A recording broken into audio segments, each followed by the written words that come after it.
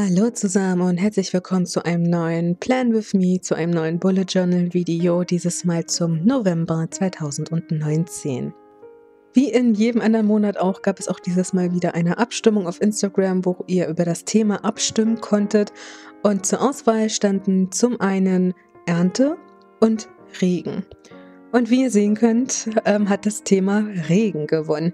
Das war am Anfang tatsächlich gar nicht so eindeutig. Da hatten sich erst die Erntefreunde ähm, sich zusammengetan und ähm, da äh, sah es erst noch so aus, als würde es dieses Thema werden. Und im Nachgang, etwas später, kamen dann die Regen- und Regenschirme-Freunde und letztlich hat sich dann dieses Thema durchgesetzt. Ich weiß, dass es viele Menschen da draußen gibt, die mit Regenwetter nicht so viel anfangen können, beziehungsweise das doof finden. Also ich verstehe es auf einer sehr theoretischen Ebene, denn ich liebe das tatsächlich total. Ich bin der Anti-Sommermensch. Ich mag es tatsächlich, wenn es regnet. Wenn es zu lange nur grau ist, finde ich das irgendwie auch doof, aber Regen finde ich gut. Ich mag es tatsächlich auch, ähm, bei Regen mit einem Regenschirm spazieren zu gehen. Und dementsprechend hat es mich gefreut, dass es dieses Thema geworden ist, weil für mich ist tatsächlich, oder ich verbinde den November mit der Farbe Grau. Das ist für mich so diese graue Jahreszeit, der graue Monat. Ähm, witzigerweise aber auch gleichzeitig mit so einem Orange-Gelb. Und damit wären wir thematisch auch beim Coverbild. Ich wollte das Coverbild in schwarz-weiß halten mit noch einer Akzentfarbe, die ihr dann nachher gleich später sehen werdet. Ich habe mir tatsächlich, oder ich war lange überlegen, was für eine Art von Covermotiv ich nehme. Bin dann letztlich bei einem Porträt hängen geblieben. Und ach, ich und Porträts meinen, das ist halt immer so so eine Sache. Insbesondere da hier auch noch hinzukommt, dass ich nicht einfach nur so frontal ähm, ein Porträt malen wollte, sondern in einer, ja, nennen wir es mal, besondereren Pose. Und das macht ähm, für mich das mit den Proportionen, insbesondere im Gesicht, noch mal viel schwieriger. Ähm, also ich tue mir damit selbst eigentlich keinen Gefallen, aber ich möchte halt schon, dass es interessant aussieht und naja. Ach so, doch mal Disclaimer. Ähm, alle Bilder, die in diesem Journal verwendet wurden, die ich also direkt eingeklebt habe oder die als ähm, Referenzbilder gedient haben, sind unten verlinkt, beziehungsweise ein Link nach ins, äh, nach Pinterest. Das Problem bei Pinterest ist, ähm, um diesen Ordner, diesen Link wirklich richtig nutzen zu können, muss man selbst einen Pinterest-Account haben, was ein bisschen ungünstig ist, aber anders kann ich es nicht machen oder ich wüsste halt nicht wie. So, jedenfalls zurück zu diesem Bild. Ähm, ich hatte, wie gesagt, Probleme mit den Proportionen. Ähm, insbesondere der Mund ist mir nicht gerade gut geglückt. Und irgendwie habe ich das auch bis zuletzt nicht richtig ähm, korrigiert, was mich wahnsinnig macht, rückblickend, aber hey. Und wie gesagt, eigentlich verbinde ich mit dem November nicht nur die Farbe Grau, sondern auch irgendwie so, so ein Orange-Gelb. Und in dieses Mal ist die Akzentfarbe tatsächlich gelb geworden. Also hier und da blitzt auch mal ein Orange auf, aber ähm, tendenziell eher gelb. Übrigens wäre es ja auch irgendwie naheliegend gewesen, hier mit Wasserfarben zu arbeiten, wegen Regen und so, ne, Wasser, aber, och, nee, ich komme immer noch nicht so hundertprozentig an Wasserfarben ran. Ich weiß auch nicht, ich habe mittlerweile richtig so eine innere Blockade davor, ähm, dass ich wieder zu Acrylfarben gegriffen habe. Ich habe das Bild dann bearbeitet und wollte es dann wieder ausdrucken und dabei ist es mir tatsächlich zu klein geraten im Format. Oh, hat mich das geärgert, blöd gelaufen und musste dementsprechend improvisieren und habe dann halt mit Washi-Tape und anderen Bildern ähm, das so collagenartig irgendwie zusammengestellt, dass das halbwegs ein stimmiges Gesamtbild ergibt. Auch hier nochmal, ich weiß nicht, wie dieser Drucker im Druckershop dort eingestellt ist oder ob ich irgendwas falsch gemacht habe oder was, aber ganz häufig ist tatsächlich, also so wie die Bilder rausgedruckt wurden, ist es nicht im Original. Also zum Teil sind da wirklich Farben regelrecht verfälscht worden und es ist ja nur auch nicht das erste Mal, dass mir das auffällt und so. Also da bin ich auch nicht gerade happy, muss ich echt sagen. Aber gut, was will man machen? Auf der nächsten Seite dann wieder der Kalender, den ich ebenfalls wieder farblich und bildlich passend ähm, zu der Deckblattseite gestaltet habe. Und ich muss dementsprechend tatsächlich sagen oder kann sagen, dass diese Doppelseite mir richtig gut gefällt. Ähm, für diejenigen, die nicht so ein Freund davon sind, Bilder einfach einzukleben, keine Sorge. Ich ähm, werde zwischendurch auch durchaus mal wieder etwas selbst malen. Aber ich habe zum Teil halt auch so süße und hübsche Bilder gefunden, die halt wirklich einfach so gut zueinander gepasst haben, dass ich die dann halt auch verwenden wollte. Wie zum Beispiel diese Katze mit dem gelben Regenschirm. Oh Gott, ich finde das Bild so toll. Ja, und ansonsten gibt es nicht so wahnsinnig viel zu sagen. Das ist, wie gesagt, für mich eher so eine Übersichtsseite, wo die ähm, groben Termine, meistens benutze ich dort auch Kürzel, ähm, dort aufführe, dass ich halt etwas, wie gesagt, so einen Gesamtüberblick über den gesamten Monat habe mit etwas größeren Kästchen, ähm, sodass die ganze Seite ausgefüllt ist, was ich immer noch nicht so ganz, aber ich gewöhne mich langsam drin. Und nochmal so, so einen kleinen Bereich für To-Dos und sowas oben, ähm, wo ich auch vielleicht ein paar Notizen machen kann.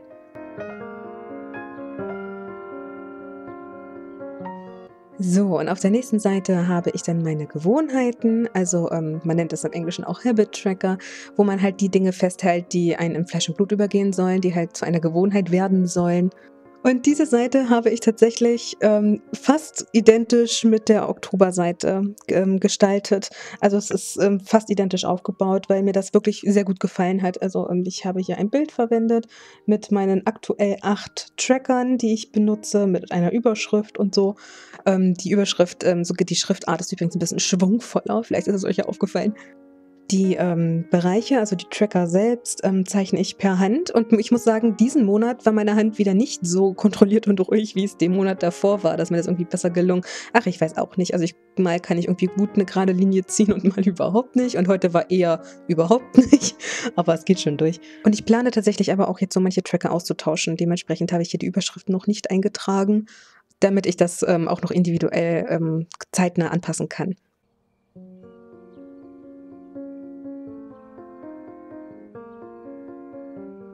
Und auf der nächsten Seite haben wir dann die Seite zu den Stimmungen. Im Englischen würde man Mood Tracker dazu sagen. Ich habe mich tatsächlich wieder dazu entschieden, nur diese Stimmungsseite zu machen und ähm, nicht äh, dieses One Line a Day noch mit einzuarbeiten, also praktisch genauso, wie ich es im Oktober auch gemacht habe, weil mir das momentan so einfach mehr entgegenkommt. Wobei ich tatsächlich jetzt aktuell schon wieder langfristig eher am Überlegen bin, diese Seite ganz rauszulassen. Aber wie gesagt, das ist ja das Schöne daran, das kann ich individuell anpassen, wie ich es gerade gerne hätte und möchte.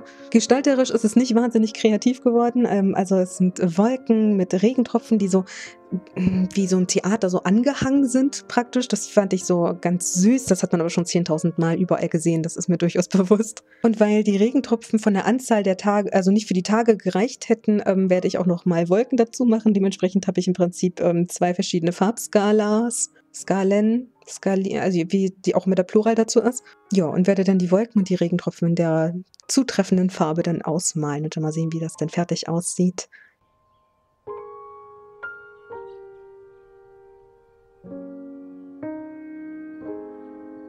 Dann kommt meine Seite zu der Social Media Präsenz auf YouTube und auf Instagram, wo ich halt meine Postings ähm, vorweg planen kann und auch festhalten kann und praktisch abstreichen kann, ob ich den jetzt hochgeladen habe oder nicht und so. Ähm, was für mich, wie gesagt, überblicksmäßig einfach sehr gut ist. Und ähm, mittlerweile ist der Bereich für Instagram auch ein bisschen größer, weil ich in der Tat da ja ähm, ein bisschen aktiver unterwegs bin. Und dort habe ich dann auch mal wieder ein Bild selbst gemalt mit Wasserfarben, was mir aber auch gezeigt hat, dass es gut war, dass ich ähm, das eingeschränkt habe dieses Mal, weil ich wollte ähm, halt sehr zarte Farben haben und musste dementsprechend viel Wasser benutzen. Und das bekam der, dem Journal nicht so richtig, also auch den Seiten nicht so. Es ist auch ein bisschen durchgedrückt, aber es hält sich in Grenzen. Wie gesagt, ich wollte das halt auch bewusst sehr zart haben. Und ja, also das ist halt kein Aquarellpapier. Die Seiten sind gut, die sind ähm, auch besser als so manches an, bei so manchem anderen Journal, ähm, besser als beim Leuchtturm zum Beispiel. Die sind unfassbar dünn, die Seiten, aber es ist halt kein Aquarellpapier, aber meine Güte. Eine kleine, süße, verträumte Zeichnung, die halt so, so ein bisschen zum Thema passt. Ähm, passt schon ganz gut dahin, denke ich. Kann man mal machen, ne?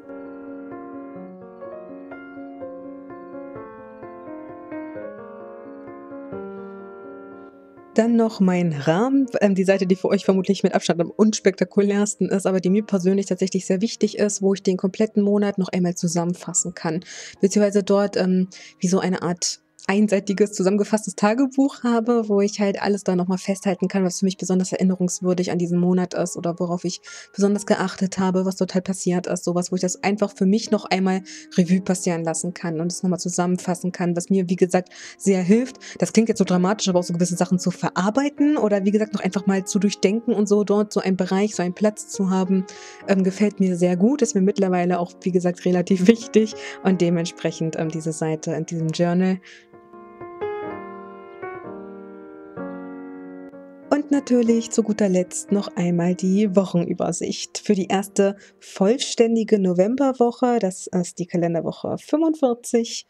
Mittlerweile durch dieses Journal weiß ich tatsächlich, wann welche Kalenderwoche ist. Ne? Also es ist so ein Wissensding, was man vielleicht nicht unbedingt braucht, aber ich jetzt neuerdings oder seit ich dieses Journal führe tatsächlich habe. Und weil der November ja praktisch dort erst gerade angefangen hat, ist es noch ein bisschen fröhlicher und bunter, was so die ähm, Farbauswahl der Bilder betrifft und wird dann im Laufe des Novembers immer mehr so dem regnerischen Thema mehr angepasst, auch so farbmäßig und gestaltungsmäßig dann. Aber jetzt geht es erstmal durchaus noch fröhlich unterwegs weil ich den Platz tatsächlich einfach schlicht und ergreifend habe, habe ich wie hier auch wieder eine Doppelseite gewählt, auch wenn ich den Platz momentan eigentlich gar nicht so wirklich brauche. Aber wie gesagt, ob ich den jetzt hier nun dort irgendwie was mit reinkritzel oder doch nochmal einen Satz hinschreibe oder so. Oder ob ich letztlich dann halt so ein Journal habe, wo noch, weiß ich nicht, zehn Seiten übrig ist.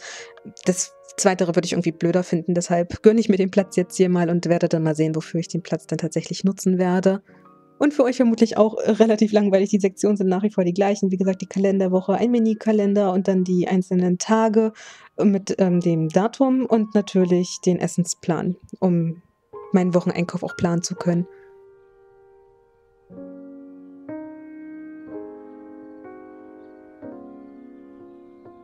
Ja, und das war es dann auch gewesen. Ähm, noch einmal in der Gesamtübersicht, einmal kurz durchgeblättert. So ähm, ist meine Gestaltung, die Umsetzung des Themas für den November. Ich hoffe, es hat euch soweit gefallen. Vielleicht konntet ihr ja auch das ein oder andere für euer eigenes Journal mitnehmen. Ähm, ähm, auf Instagram wird es dann demnächst, beziehungsweise Anfang nächsten Monats, dann ähm, die letzte Abstimmung tatsächlich geben für das Thema für den Dezember. Ich hoffe, ihr seid wieder mit dabei. Ja, und das war es dann soweit auch von meiner Seite aus. Ich wünsche euch noch einen schönen restlichen Tag und wenn ihr wollt, sehen wir uns im nächsten Video wieder. Tschüss!